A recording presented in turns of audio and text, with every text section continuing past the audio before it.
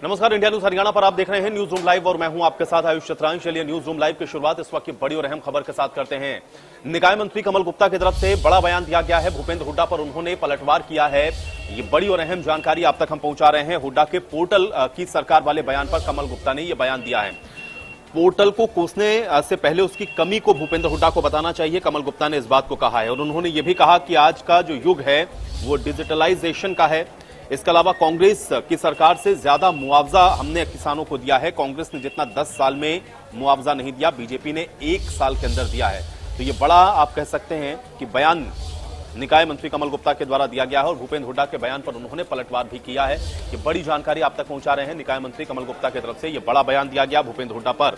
उन्होंने पलटवार किया है। भूपेंद्र हुड्डा के पोर्टल वाली सरकार के बयान पर कमल गुप्ता ने यह पलटवार किया। उन्होंने कहा कि पोर्टल को कोसने से पहले भूपेंद्र हुड्डा को यह बताना चाहिए कि पोर्टल में क्या कमी है।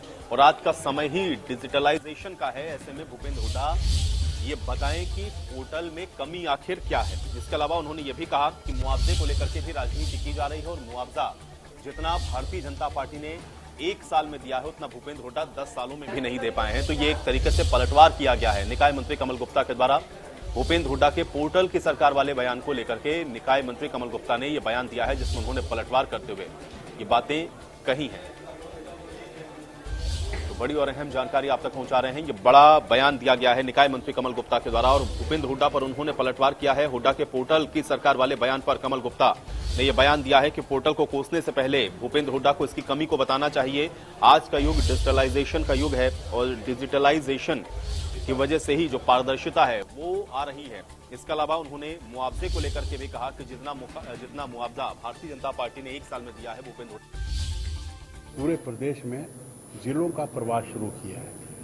और ये मेरी मीटिंग ग्यारहवें ज़िले, यानी कि इससे पहले मैं दस जिलों की, उन दस जिलों में जितनी भी यूएलबीज थी, यानी कि अगर आज मैं इस ज़िले को इंक्लूड करूँ तो 11 जिलों में और 47 यूएलबीज की मैं मीटिंग ले चुका हूँ। और इस मीटिंग में हमारा जो काम करने का तरीका है, हमारे क्या क्या प्रोजेक्ट्स हैं क्या क्या पायलट प्रोजेक्ट्स हैं चाहे वो प्रॉपर्टी आईडी हो, चाहे वो स्वामित्व योजना हो, चाहे वो अनअप्रूव्ड अप्रूव्ड कॉलोनीज हो, चाहे वो नगर दर्शन की बात हो, चाहे वो स्वच्छता की बात हो स्वीपिंग की बात हो डोर टू डोर कलेक्शन की बात हो बजट की बात हो कि कैसे बजट को मैनेज करना चाहिए और कैसे शहर को ब्यूटिफिकेशन करने की बात हो, इन सब बातों पर हमने रिव्यू किया है और जहाँ जहाँ कमियाँ थी, उसका एहसास कर्मचारियों को और चेयरमैन को करवाया है। और इनको इस बात की भी एश्योरेंस दी है कि जो भी सहायता ऊपर से होगी हम करेंगे। तो इसी के रिव्यू के लिए मैंने ये मीटिंग तंत्र है, लोकतंत्र में सब लोगों को अधिकार है। अब, हम जो बातें करते हैं, जो डिमांड्स मानने की होती हैं, वो मानते भी हैं।